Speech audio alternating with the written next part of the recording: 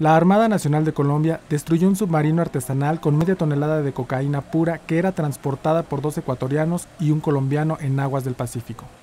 Tropas de la Fuerza Naval del Pacífico descubrieron el semisumergible en una zona conocida como Bahía Bajo San Ignacio, área rural del municipio de Tumaco en el departamento de Nariño.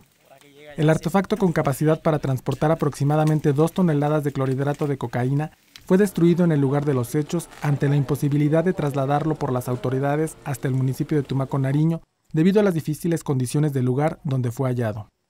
Según la Armada Nacional de Colombia, los narcotraficantes invierten en la fabricación de un semisumergible hasta un millón de dólares con el fin de transportar ilegalmente grandes cantidades de droga al exterior en un solo trayecto. Con información de Edelmiro Franco, corresponsal en Colombia, Notimex.